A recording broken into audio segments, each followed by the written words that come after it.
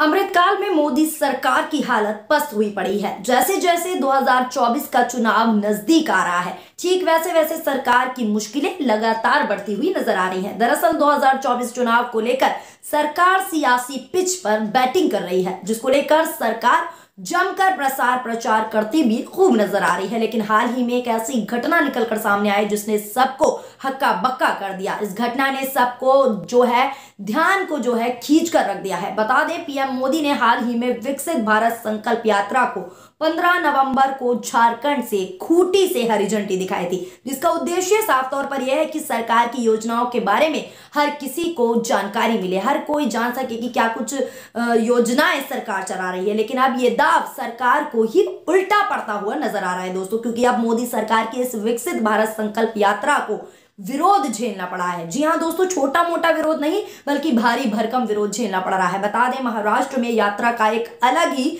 रंग और रूप देखने को मिला, जहाँ स्वागत नहीं बल्कि बीजेपी का ज़बरदस्त विरोध हुआ। यहाँ तक कि झंडे के रंग को लेकर भी बीजेपी नेताओं की खूब किरकिरी हुई। दरअसल ये पूरा मामला कोल्हापुर के राधा नगरी में देखने को मिला है। जी हाँ दोस्तों, आपको जानकारी रिपोर्ट के मुताबिक आपको सिलसिलेवार तरीके से दे देते हैं। रिपोर्ट की माने तो महाराष्ट्र के कोल्हापुर ज़िले के एक गाँव में मोदी सरकार द्वारा शुरू किए गए अभियान का विरोध झेलना पड़ा। बता दें, विकसित भारत संकल्प यात्रा में उस समय विरोध देखने को मिला जब एक सामाजिक कार्यकर्ता, जिनका नाम राज भैवव है, उन्होंने हस्तक्षेप किया। यानी एक सामाजिक कार्यकर्ता ने इस संकल्प यात्रा का जमकर विरोध किया। दरअसल राज भैवव ने आपत्ति जताई कि तिरंगे के बजाय यात्रा में भाजपा का झंडा इस्तेमाल हो रहा है। बता दें यात्रा रथ मोदी सरकार की गारंटी को लेकर थी, जिसमें संविधान के अनुच्छेद एक का उल्लंघन किया गया है। यानी जो यात्रा रथ मोदी सरकार द्वारा चलाया जा रहा है, उसमें संविधान के अनुच्छेद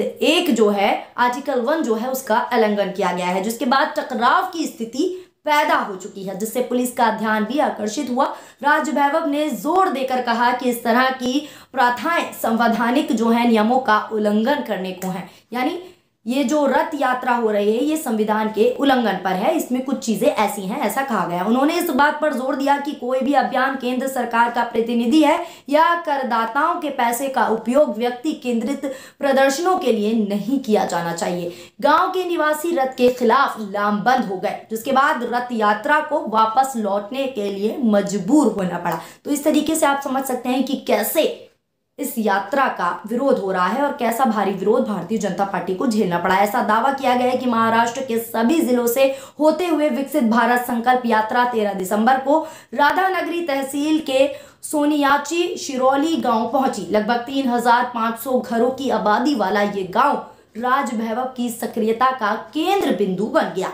रथ यात्रा रोकने के बाद राज भैवव ने ऐसे सवाल पूछे जिसका जवाब आयोजक तक नहीं दे सके। तो सोचिए आप, ऐसे जवाब मांगे गए जो जो आयोजक हैं इस रथ यात्रा के, वो भी नहीं दे सके। राज वैभव ने अभियान से जुड़ी चिंताओं पर गहराई से विचार किया। विशेष रूप से किसी व्यक्ति के नाम के साथ सरकार को जोड़ने की वैधता पर भी सवाल उठाया। उन्होंने भाजपा के झंडे के प्रभुत्व को उजागर करते हुए रथ पर मोदी सरकार की गारंटी के इस्तेमाल और तिरंगे की अनुपस्थिति को चुनौती दे दी खुले तौर पर। अब चुनाव करीब आते ही सरकार का विरोध कैसे लगातार बढ़ता जा रहा है, इस रिपोर्ट को आप भी समझ समझ सकते हैं। सारा सच हमने रिपोर्ट के ज़रिए भी बताया कि कैसे योजनाएँ बताने के लिए यात्रा शुरू की गई, लेकिन वो यात्रा कैसे भाजपा वालों को उल्टी पड़ गई, ये आप खुद ही समझ लीजिए। इस पर आपकी क्या कुछ राय है और इसका क्या असर 2024 के चुनावों में पड़ेगा, ये आप अपनी राय कमेंट बॉक्स में ज़रूर दें। कमेंट में आपका स्वागत है।